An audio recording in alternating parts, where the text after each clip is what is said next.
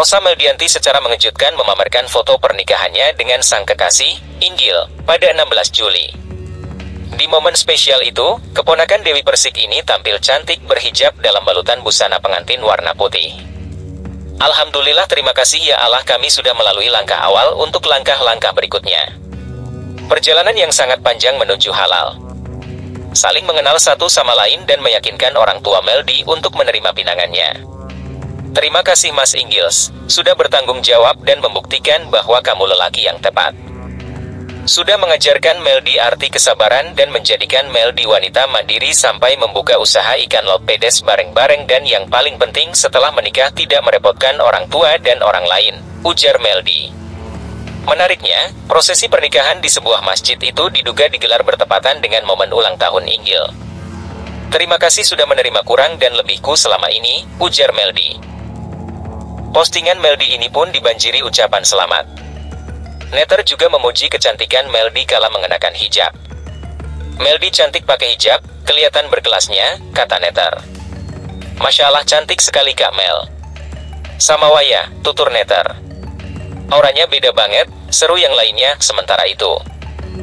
Dewi Persik sebagai tante juga hadir di momen pernikahan Meldi. Ia menangis haru kala menyaksikan akad nikah sang keponakan dan Inggil. Ikut terharu, ikut bahagia Alhamdulillah ya sayang. Semoga Allah memberikan kebahagiaan dunia akhirat sama wa amin ya robbal alamin, kata DP. Dalam wawancara dengan awak media, DP dengan tulus mengungkap rasa bahagia karena bisa mengantarkan Meldi hingga ke jenjang pernikahan. Alhamdulillah bisa menemukan calon yang cocok. Kalau aku sebagai orang tua mensupport yang terbaik, selama mereka bahagia ya monggo, kata DP. Sementara itu, Dewi Persik akhirnya buka suara perihal perkembangan hubungannya dengan pilot Ruli. Hal ini diungkap Dewi Persik, bermula ketika dirinya ditanya terkait target untuk menikah. Bagi Dewi dirinya tidak menargetkan dan memilih menyerahkan pada Tuhan. Gak punya target, kapan saja kalau Allah kasih mau sekarang atau nanti, tutur ya, untuk perkembangan hubungannya hingga kini dirinya dan Ruli masih saling mengenal lebih jauh.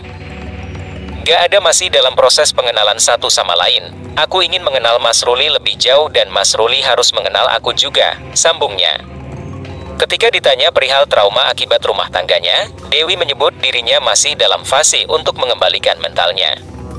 Pasti dong trauma itu masih ada karena aku mengalami pengkhianatan yang tidak mudah untuk bisa kembali seperti kertas putih, ujarnya. Sehingga dengan demikian untuk hal tersebut dirinya membutuhkan waktu yang lumayan. Hey!